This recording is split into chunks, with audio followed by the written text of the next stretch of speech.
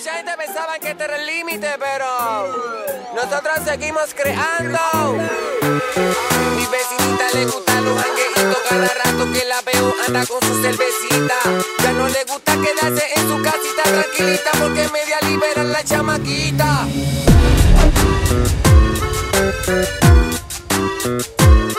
Y si le pone reggaetón se pone fresca y hasta abajo a los